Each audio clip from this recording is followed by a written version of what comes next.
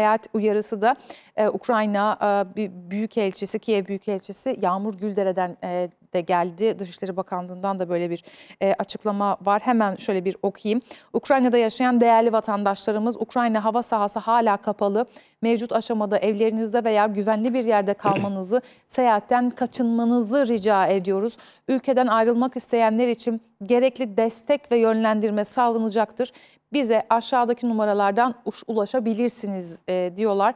E, Dışişleri Bakanlığı'nın konsolosluk çağrı e, merkezinin e, telefon numaraları da ayrı ayrı var. Bu sosyal medyadan da internetten de doğrudan ulaşılabilir. Eğer bizi bizi izleyen orada öğrenciler olduğunu biliyorum ben.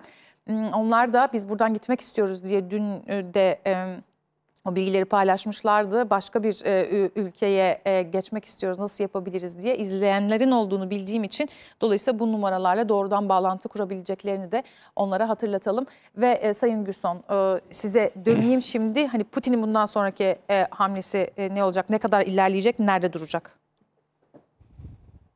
Şimdi e, hocam da çok güzel ifade etti. Şimdi burada pazarlık e, masası falan yok Buket Hanım. Şu an aktif e, tabii ki bu Donetsk, Luhansk'la sınırlı kalacak gibi de durmuyor. Ukrayna'nın savaşma azim ve iradesi topyekun ye- yerle bir edilmek isteniyor. Dolayısıyla e, Batı'ya da burada bir mesaj var. Ama tabii oyunu baştan itibaren ben söylüyorum bu Amerikan devlet aklının bir oyunu. Yani e, iteni çek çekeni it şeklinde Kremlin hareket ediyordu bugüne kadar. Tabii kırmızı çizgileri var ve gösterdi de ve süratle sonuca ihtiyacı var Putin'in. Dolayısıyla dün elektronik harp faaliyetleriyle başladı. İşte hava sahası kapatıldı. Önce tabii bizim kendi yurttaşlarımız açısından dışlarının açıklaması çok önemli. Ee, onların tahliyesi, e, burada can kaybı çünkü her an her yerde olabilir. Bakın sadece işte bu sınırlı bir alanda olacak gibi durmuyor. Yani ilk gün de ben ifade etmiştim. Bu şimdi Çin'in ne yapacağını da e, Putin'in davranışlarıyla beraber takip etmek lazım.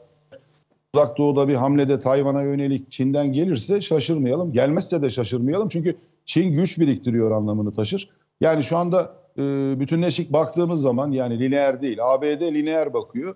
Burada ben Rusya ile ilgili işimi halledeceğim. Daha sonra Çin'e yöneleceğim şeklinde bir bakış açısı var.